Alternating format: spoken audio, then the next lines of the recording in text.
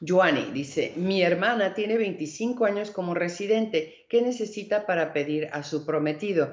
Bueno, como residente no puede pedir a un prometido. La visa K o visa fiancé es para ciudadanos estadounidenses ya sea que haya nacido en Estados Unidos o que se haya naturalizado y quieren pedir a una prometida o a un prometido que esté en el exterior. Y se pide con una solicitud, eh, tiene una cita en la Embajada de Estados Unidos, etc.